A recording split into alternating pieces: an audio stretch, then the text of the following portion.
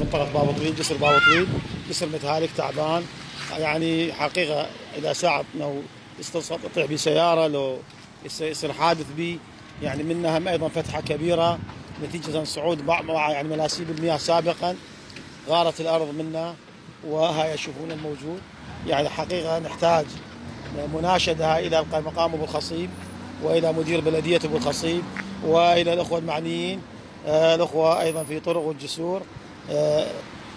نرجو إنه صيانة جسر أبو أبو فلوس الواقع قرب اللقطه اللي هو شمال باب آه، على منطقة باب طويل جزاكم الله خير. هاي مناشدة لكم. الجسر إذا استمر هيك راح يسقط أو يصير بحادث فأرجو أن تستجيبوا لهذه المناشدة.